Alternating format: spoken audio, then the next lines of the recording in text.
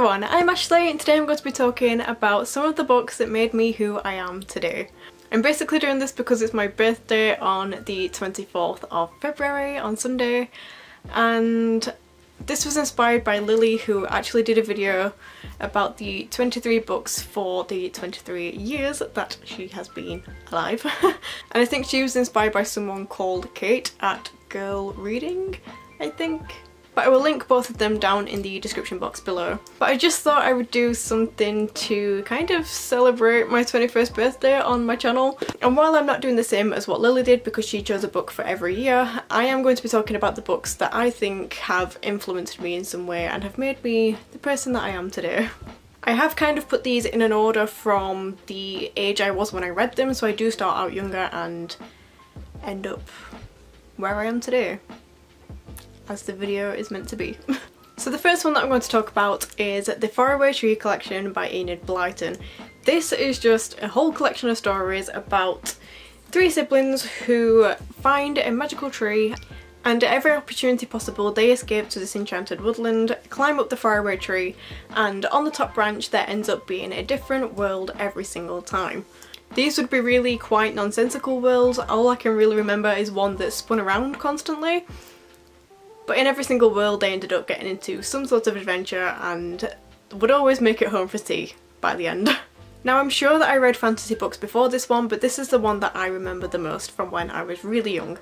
And I just absolutely adored it. I have reread this book so many times when I was younger and I just still love it to this day. Like, I just have such fond memories of this book and I feel like this influenced a little adventurer inside me because when I was younger I always used to climb trees. And I remember thinking of these characters every single time and being completely convinced that if I just climbed a branch higher then I would end up in a new world. I remember associating this book with my outdoor adventures all the time. But I do think this was my first proper love of a fantasy book which obviously has come through to this day and it very much inspired the little adventurer within me and it might have also made me have a weird obsession for trees because I bloody love plants now as you can probably tell from my background. the next ones I'm going to talk about is actually a collection of books and that is the Horrible History books. I don't have any of these because I did borrow all of them but when I say that I borrowed all of them I do mean all of them. all of the ones that were published at the time when I was younger anyway. I absolutely adored horrible histories. I remember borrowing these from school and every single time the teacher said that there were new ones in, I remember just scouting through the library as fast as I could, just trying to get hold of any new book that they had. And I also watched the Horrible Histories TV programme every single day religiously. I absolutely loved Horrible Histories and to this day I think it's one of the best ways to get children into history. In fact I still love it now. I have rewatched the TV show because it's on Netflix so it is a little bit crude because it is aimed towards children but yeah, I just can't help but love it. And I do think that this is what stemmed my love for history so much because there are so many different books and it covers all sorts of history, all different periods, and I, to this day, find it so difficult to kind of specifically choose one period of history that I want to focus on or that I love reading about. I mean, if you know me then you probably know that I've got a recent love for ancient history and I do think that that's the period, if any, that I would zone in on particularly. But I do find pretty much all periods of history fascinating and I do blame these books for that because I read them all, I watched it all, I blame it entirely. so the next one is one that is obvious and you're probably all gone to roll your eyes, but we have Harry Potter. I'm sure you all know what this story is about, but in case you don't, this is about Harry Potter who discovers he is a wizard at the age of 11 and he goes off to Hogwarts, finds out he is the boy who lived, and all that fun stuff. While I do absolutely adore the story of this book, of course I do, that isn't the reason why this is on this list. This book is on this list because of Hermione Granger.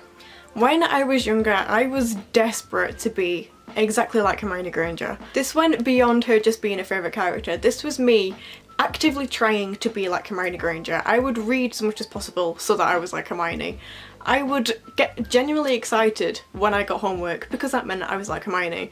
I would try so hard in school because I wanted to be like Hermione and this has very much stuck with me.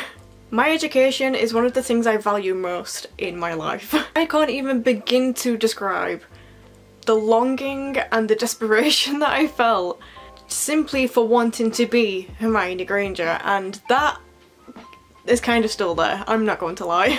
but this has turned me into a person who values their education above a lot of things. Like it's one of the things I value most in my life and I constantly try my very hardest to do as best as I can. Which sounds amazing but it does come with its downfalls because it means that the amount of pressure that I put on myself and the lows that I reach when I don't do as good as I want to do really hit hard. So it's not always a good thing but I just can't get over this intense need for knowledge. I just want to learn everything possible and that's impossible. and it's something that endlessly frustrates me so much. So much so that I have actually written a blog post about this. I will leave that down below if you're interested. But I do blame Hermione Granger for this because it was just instilled in me for years upon years of my childhood that I want to be Hermione and I want to be smart and I want to be everything that she is. That that's what I find most appealing when it comes to people and it's also what I value the most. please can I just be as smart, as educated, as an amazing person as Hermione Granger, please. so the next one I'm going to talk about is The Lovely Bones by Alice Sebold and by most people's standards, I was probably too young to read this when I did because this is about a 14 year old girl who is raped and murdered and it's told from her perspective as she's looking down from heaven watching her family find this out. So it's definitely a hard hitting book, like it's such a horrible story and I don't know how I got my hands on it as young as I did. I must have been maybe around 12 or 13, I'm not quite sure. I remember I was younger than her because that was like a thought that really stuck with me. But all the way through my childhood I pretty much just focused on fantasy books and I still do that to this day. And the closest I got to contemporary fiction really was Jacqueline Wilson books but they always quite while they handle dark subject matter or like serious subject matter, they always tend to end on a high.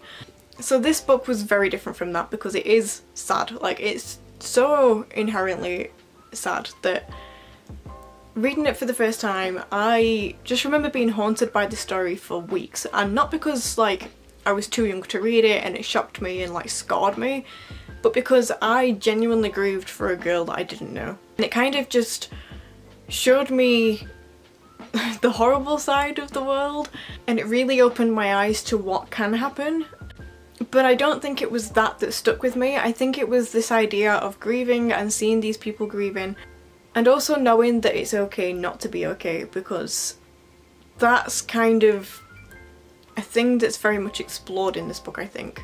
This is a story that has always stuck with me and I actually reread it last year I think and still had the same feelings for it. This book just invokes so many heart-wrenching feelings in me and I just feel like it's always stayed with me and it's kind of moulded me into this person that's kind of always been a bit more understanding of grief and I mean I have been through it myself so I do get that and returning to it after I've experienced it versus before I've experienced it was really quite interesting.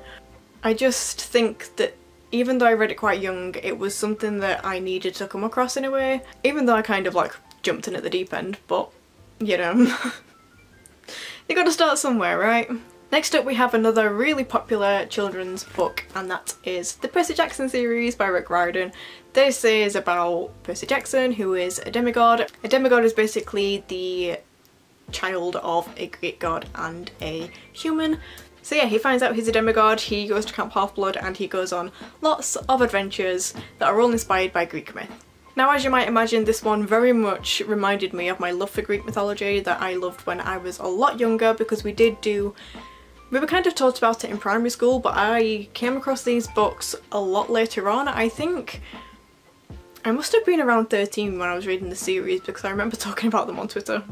But I still adore these books to this day and like I said it did remind me of my love for Greek mythology. But it didn't quite stick with me yet. The actual reason that this book is on this list is because with this series it kind of... I felt like I accepted being passionate about books when it came to the series because Like I said, I was talking about this book on Twitter and I would see Tumblr posts about it, I would actively search through fan art. I became so dedicated to the series that I was just, I felt constantly excited to be talking about books and that wasn't really something that I'd come across before. I've always been a reader but I've not always been a fangirl. There we go. Reading this when I was introduced or became a part of the internet culture, I guess, really made me accept that it was completely fine to be a little bit weird and to talk about books all the time. And this has ultimately stemmed into this entire thing, like having a YouTube channel that's dedicated to books and a book blog and talk about them on Twitter and on Instagram and just I don't care if people find it strange that I talk about books so much because I care about them, so that's their problem. and I do feel like it was this series that kind of introduced me to that and like you will always find your people, like you can talk about what you want passionately and people will come and find you so that's what this book taught me in a way because it was talking about this book where I found my people in the end. So next up we have The Perks of Being a Wallflower by Stephen Chbosky and this was kind of like a similar effect to The Lovely Bones. This follows Charlie who is starting... He's starting some kind of new year at school and he's very much, well, a wallflower. He doesn't really fit into any particular group and he's quite shy. And this book is basically him writing letters in a way to kind of cope with that. But again, I would say this book is one of those that made me realise it's okay not to be okay because this is a very idealised version of high school in America. And you know, it kind of follows the teenagers that feel more indie and it's all about friendship and all those lovely things and it is very much at first it appears quite an idealised version but it's got the undertones of something worse. It's a book that kind of shows you that not everything's perfect and come the end it does take quite a dark turn. Which Again really opened my eyes to the fact that people have a lot more going on than appearances. As well as that I also just related to this on a mental health level, not for the same reasons but you can kind of get the general anxious feeling all the way through this book and you can kind of tell that something more is going on if you understand it and I'd never before read something that kind of captured that sense of loneliness and always feeling left out and how good it feels to finally feel accepted I'd never read that before and I related to it so hard that I just clung to the story and I think the second that I finished this book I reread it because I kind of wanted to feel it again. As young as I was I didn't quite understand it at the time because I didn't know that I had mental health problems at that point in my life but I did relate to this book and now I understand why. And this book just generally holds so much nostalgia for me. Like if I hear the soundtrack for the film or if I just even looking at the cover brings nostalgia to me. And yeah, I feel like this book, while it's completely different to my own lifestyle and I can't really relate to the story in the sense of what happens, I related to it in terms of mentality. And that that kind of registered so much deeper than anything else that I'd read at this point and made me feel accepted or seen for the first time. And then we take quite a large jump to relatively modern day with The Odyssey by Homer. This one is translated by E.V. Rieu and I... This is the revival that I was waiting for. it wasn't last summer but it was the summer before where I kind of went through a shift in reading tastes and I was kind of intrigued about Greek, Greek mythology and just ancient history in general so I started kind of researching it and quite a bit later on I ended up reading the Iliad by Homer Loved it, but wasn't quite yet convinced that ancient history wouldn't be like dense to get through or hard to read. So I wasn't yet convinced that I would really adore ancient literature even though I wholeheartedly wanted to. So then I picked up the Odyssey which comes after the Iliad and follows the hero Odysseus as he attempts to make his way home but it takes him 10 years to get home because he basically pisses off Poseidon. so he makes it mighty hard for him to sail home. This book that just clicked with me instantly. This is basically a fantasy novel but like ancient literature style.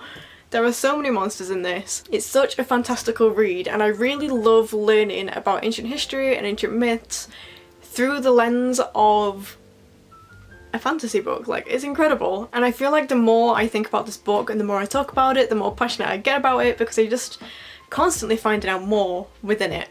There's so many interesting characters, so many interesting creatures, there's just so much to it that I can't help but like I mean look at me. I'm so happy to be talking about it that this is what has happened. And my love for this book has kind of just solidified the revival of my love for mythology and ancient history. Reading this has stemmed into me wanting to read more ancient literature and reading Greek myth retellings. Also reading non-fiction history books about ancient history and I just I feel like it's thoroughly taken over and I would really really love to study ancient literature as a master's degree so I would specialise in that but I don't think I'll be able to for many different reasons. It is frustrating because I do feel like a real amateur when it comes to ancient mythology and ancient history in general because like I said I am trying to teach myself so I do feel very much like an amateur and it kind of I'm really quite uncomfortable with that because I do I'm aware that I talk about it a lot and people have started associating me with Greek myth but I don't want people to kind of come across my videos, hear me talking about it and then be like you don't actually know what you're talking about.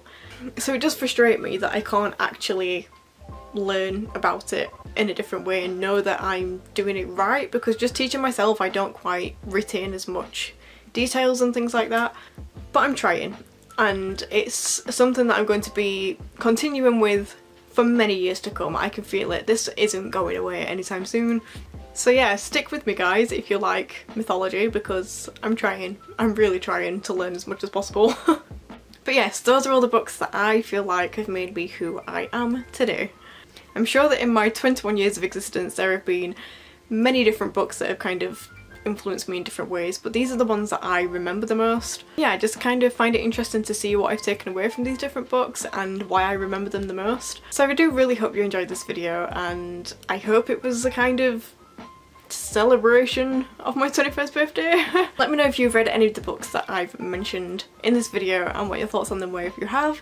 And as for now, I hope you're having a wonderful day and I shall see you next time with a new video. Bye!